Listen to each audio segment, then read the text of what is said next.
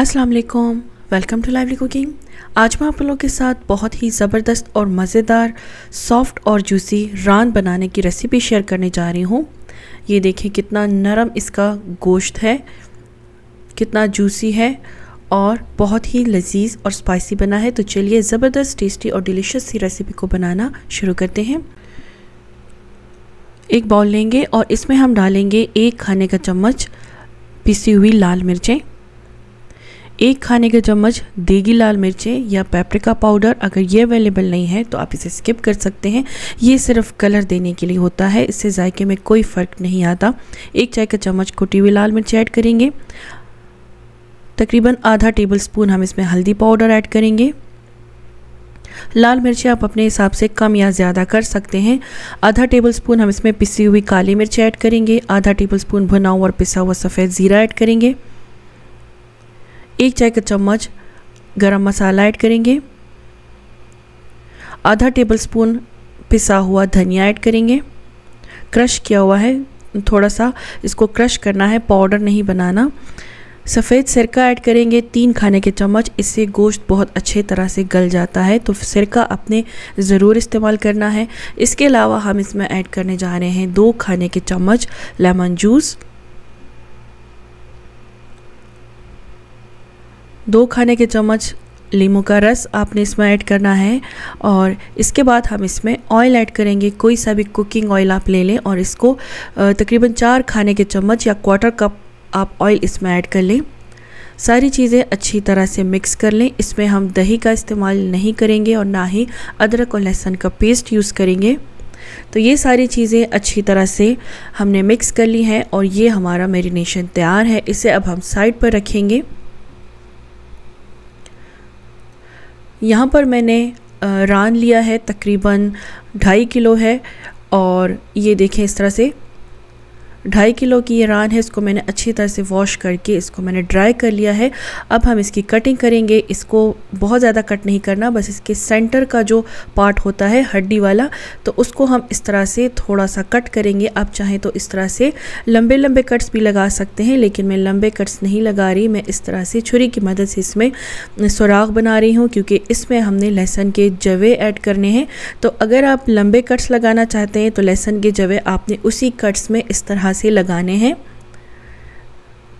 देखिए, इस तरह से एक एक लहसुन का जवा आपने एक एक कट में लगाना है। तकरीबन पाँच से छः अदद लहसुन के जवे एक साइड पर लगा लें और पाँच से छः अदद दूसरी साइड पे लगा लें।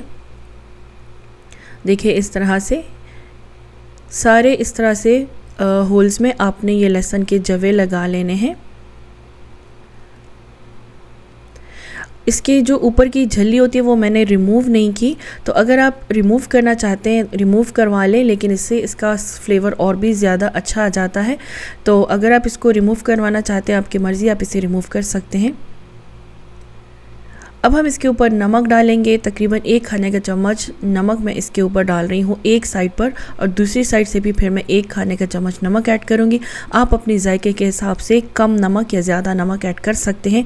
एक टेबल स्पून नॉर्मल है। अगर आप कम इस्तेमाल करना चाहते हैं तो आप आधा टेबल स्पून तक इस्तेमाल कर सकते हैं।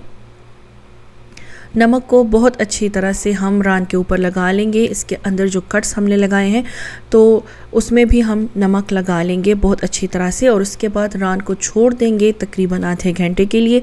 आधे घंटे बाद हम इसके ऊपर ये मेरीनेशन लगाएँगे, जो कि हमने बना के रखा हुआ था। कट्स में भी लगाएँगे, इसके ऊपर भी अच्छी तरह से लगा लेंगे।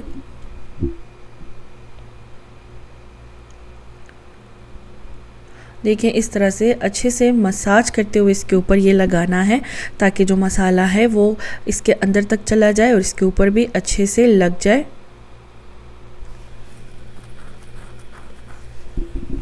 तो देखिए एक साइड पे अच्छी तरह से मैंने मसाला लगा लिया है, अब हम दूसरी साइड पे लगाएँगे।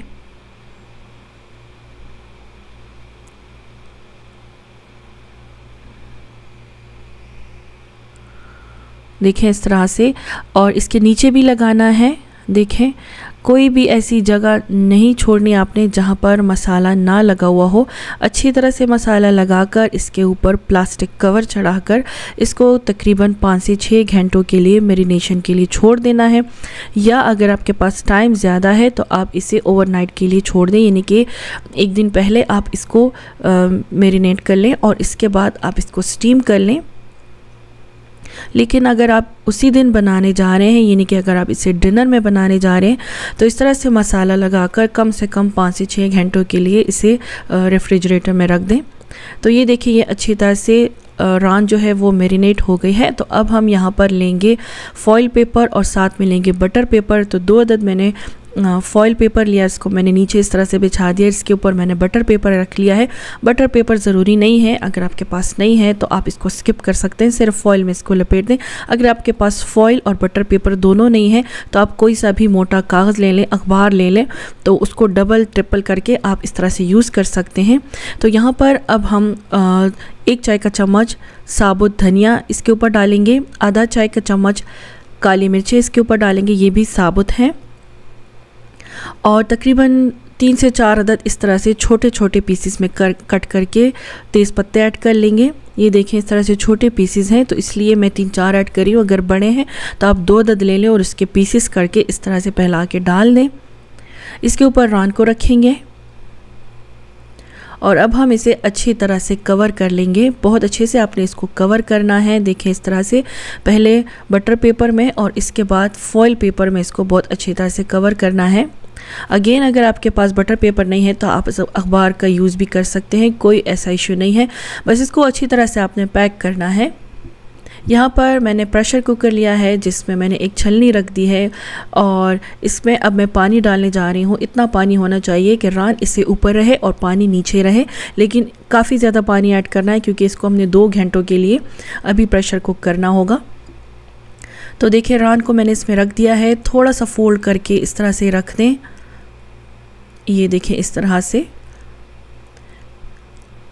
और बस अब हम इसको प्रेशर कुक करेंगे तकरीबन दो घंटों के लिए, यानी कि जब प्रेशर आ जाए और प्रेशर की आवाज़ आनी शुरू हो जाए, जिस तरह से प्रेशर कुकर की आवाज़ होती है तो उसके बाद से आपने इसको दो घंटे के लिए पकाना है। पहले 10-15 मिनट आप आँच तेज़ कर दें और जब प्रेशर लग जाए एक मरतबा तो उसके बाद आप इसको medium low to medium flame पर दो घंटे के लिए इस तरह से स्टीम रोस्ट कर लें। दो घंटे हो चुके हैं और यहाँ पर आपको अब मैं दिखाने जा रही हूँ कि ये किस तरह से बना है।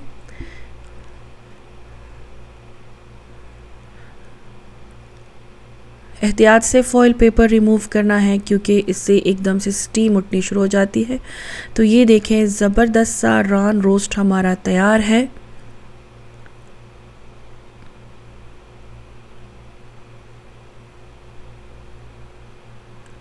बहुत ही मज़ेदार बना है बहुत ही अमेजिंग इसकी खुशबू है।